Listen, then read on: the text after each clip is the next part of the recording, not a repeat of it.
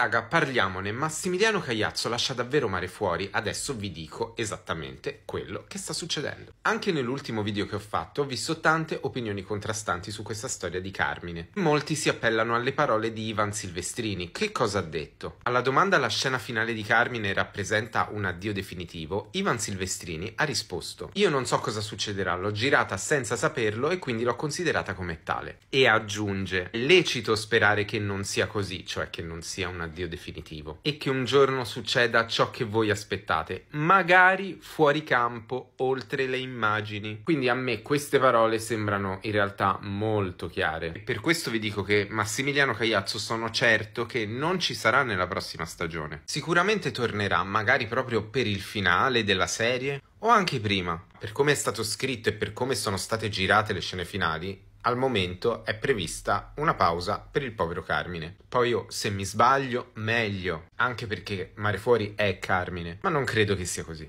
Chi altro lascia e chi invece torna? Qui sul profilo andate subito a seguirmi, vi ho lasciato l'altro video dove ci sono chi lascia, chi torna, eccetera, eccetera. Vi devo fare la mega teoria, lo sapete. Ovviamente se andate su WhatsApp trovate il mio canale verificato dove ci sono un sacco di esclusive interviste, video saluti, tutto su Mare Fuori, andate a seguirmi.